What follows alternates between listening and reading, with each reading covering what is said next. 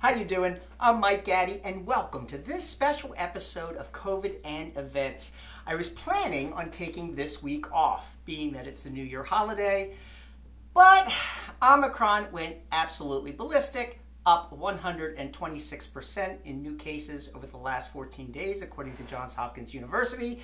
So I thought I'd better give you my take on how I think all of this will shake out in the event industry.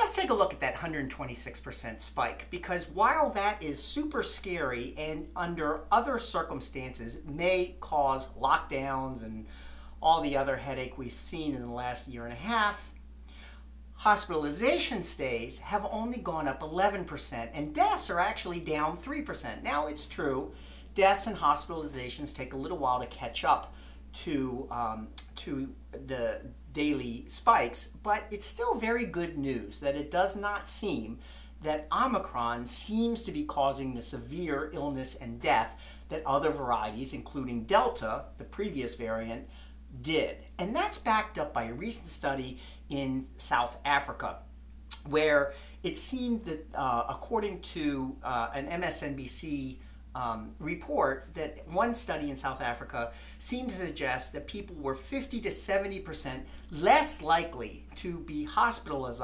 hospitalized as a result of being infected with Omicron.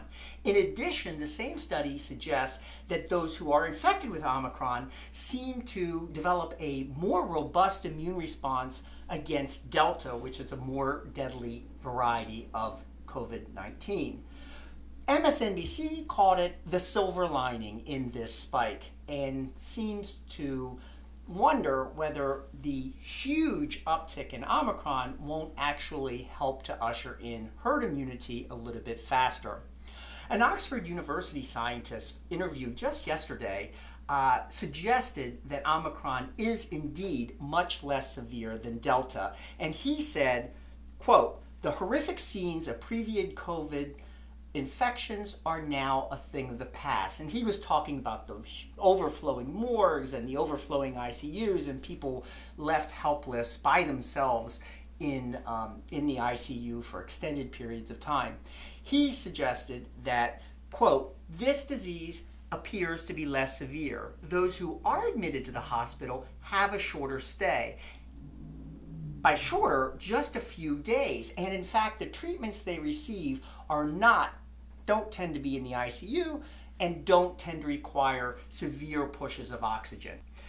That's it for COVID and events. How all this will impact the event industry as we move into the first quarter of next year remains to be seen. Right now, events seem to be holding the event planners I've talked to continue to rely on masks and vaccination requirements to have their in-person events continue forward. Ours, our first uh, in-person event for 2022 is scheduled in Miami in just a couple weeks. That's an international medical event. We'll see if it holds. Hopefully it will. Talk to you soon. Stay safe.